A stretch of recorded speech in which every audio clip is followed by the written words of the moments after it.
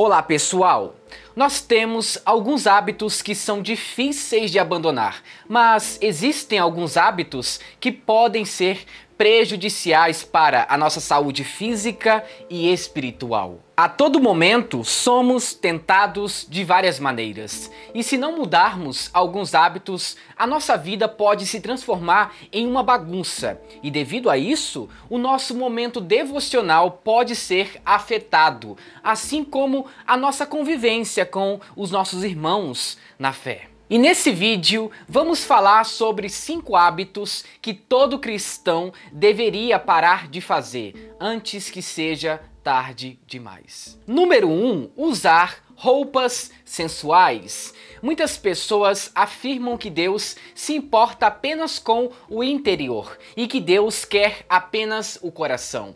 Essa ideia se tornou um clichê em nossos dias atuais e muitas pessoas usam essa frase como pretexto para se vestir de qualquer maneira. Porém, não é bem assim que funciona. Devemos tomar cuidado com aquilo que vestimos. Dar um mau testemunho é algo péssimo. Não é adequado uma mulher usar blusas com decotes. Isso pode chamar a atenção de muitos homens. Não é adequado também o homem usar roupas apertadas ou andar seminu em uma quadra esportiva, mostrando todo o seu corpo. Devemos ter temperança em tudo. Não precisamos exagerar nas roupas. Devemos saber se vestir com decência e modéstia. Alguém que se diz noiva de Cristo deve se vestir com pudor e sem extravagância. Devemos abandonar esse hábito de vestir roupas sensuais para tentar impressionar as outras pessoas. Quando você estiver de frente para o espelho, faça essa pergunta para si mesmo. Será que Jesus se vestiria desta maneira? Pode ter certeza, os seus hábitos vão começar a mudar. No culto é necessário ir com roupas discretas, para que não chame a atenção dos irmãos que estão reunidos naquele local. Você que é mulher, evite saias ou calças apertadas. Cuidado com o decote. Às vezes, a sua intenção nem é transmitir sensualidade, porém, nem todos pensam como você. Homens, cuidado com as calças apertadas demais. Algumas calças são tão apertadas que parecem que esses homens estão usando aquela calça legging que as mulheres usam na academia. A sensualidade, em muitas vezes, é fruto daquilo que está no coração da pessoa. Então, abandone esse hábito. Número 2. Jogos de azar. Por incrível que pareça, tem pessoas cristãs que jogam na Mega Sena, no bingo e acham essas coisas normais. Como se essa prática fosse apenas mais uma brincadeirinha para ganhar dinheiro. A grande verdade que muitos não aceitam é que essas pessoas jogam por ganância e o amor ao dinheiro e a busca incessante em ficar rico fazem com que essas pessoas se tornem escravos dos jogos de azar. As consequências são terríveis, inclusive pode afetar até a família. Tem pessoas que perdem tudo nesses jogos de azar. E o que elas fazem? vendem tudo o que têm para conseguir pagar as suas dívidas. Em Mateus, capítulo 6, versículo 33, diz que devemos buscar em primeiro lugar o reino de Deus. Mas parece que essas pessoas estão buscando em primeiro lugar o dinheiro, invertendo os valores e confiando na incerteza dos jogos de azar. Jogar ou apostar, ainda que seja uma quantia pequena, pode despertar o amor ao dinheiro, um sentimento que causa muito sofrimento, como está escrito em 1 Timóteo, capítulo 6, do versículo 9 até o 10. Outra coisa importante, jogos de azar faz com que a pessoa tenha um espírito competitivo ao ponto de colocar até mesmo a sua fé em jogo. A Bíblia também não aprova a ideia de ganhar dinheiro fácil. Pelo contrário, ela incentiva o trabalho duro. O conselho da Bíblia é que as pessoas trabalhem para se sustentar. Essa ideia que muitas pessoas usam para ganhar dinheiro é errada. E se você tem esse hábito, é melhor parar. Número 3. Falar palavrões. Algumas coisas escandalizam, mas uma coisa que chama muita atenção e nos assusta às vezes são aquelas pessoas que se dizem ser cristãs e vivem falando palavrões em seu cotidiano como se fosse a coisa mais natural do mundo. A Bíblia nos diz que a boca fala do que está cheio o coração.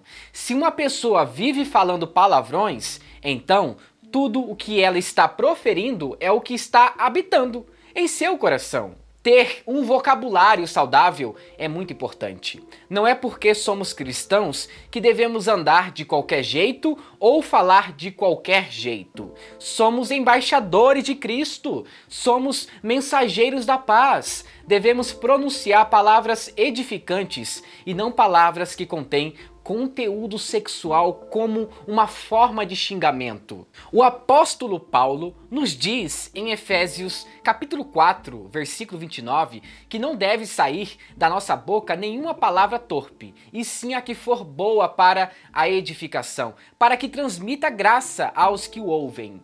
Se você tem esse hábito de falar palavrões e ainda acha normal, é melhor você rever o seu conceito de cristianismo. Número 4. Preguiça de trabalhar. Eu conheço muitas pessoas cristãs que não gostam de trabalhar são preguiçosas e sempre esperam a oportunidade de emprego cair do céu. A Bíblia tem vários exemplos de homens que trabalharam duro, inclusive Adão foi designado a cuidar da terra. Isso era uma forma de trabalho. Cuidar de animais, plantas e árvores frutíferas é algo que dá trabalho. Jesus Cristo, por exemplo, trabalhou durante toda a sua vida como carpinteiro. E sabe o que é mais impressionante? Até o Filho de Deus trabalhou. Então por que nós não devemos trabalhar? O apóstolo Paulo nos deixa uma exortação em 2 Tessalonicenses capítulo 3, versículo 10, que aquele que não gosta de trabalhar também não deve comer. Ou seja, precisamos trabalhar para ter o nosso pão de cada dia. O tempo de Moisés já passou. Não fique esperando cair o manar do céu. Se dedique nos estudos, se especialize na área que você gosta e procure um emprego. Se uma pessoa não gosta de trabalhar para ter o seu sustento, como que uma pessoa dessa vai conseguir trabalhar na obra do Senhor? Fica difícil. Número 5, dívidas atrasadas. Uma coisa que eu aprendi ao longo da minha jornada é que não podemos comprar aquilo que não podemos pagar. E tem muitas pessoas que estão dando um mau testemunho por aí por causa de suas dívidas. É claro que não podemos generalizar. Às vezes, existem pessoas que foram mandadas embora do serviço e isso afeta na vida financeira. E devido a isso, algumas pessoas têm que renegociar suas parcelas e dívidas. Mas precisamos tomar muito cuidado com a nossa vida financeira. Pedir dinheiro emprestado para familiar, amigos ou vizinhos pode ser feito em um último caso. Às vezes, é melhor solicitar um empréstimo ao seu banco do que pegar dinheiro emprestado com pessoas próximas. E não é pecado você pedir um empréstimo. O errado é você se endividar e não cumprir com seus compromissos. Se prometemos algo, devemos pagar. Tem muitas pessoas cristãs que dão, infelizmente, um mau testemunho por aí por causa de suas dívidas. Aquele que se diz cristão deve ter o mesmo caráter de Cristo. E se nós estamos sendo conhecidos pelas nossas dívidas e não pelo nosso testemunho, então estamos longe de ser parecidos com Cristo. Abandone essa prática e pare de envergonhar o nome de Cristo. Sendo assim, muito obrigado por assistir esse vídeo até o final. E se você gostou, não se esqueça, se inscreva no canal, ative as notificações e também deixe seu like para fortalecer o nosso projeto aqui no YouTube. E que Deus o abençoe. Em nome de Jesus. Amém.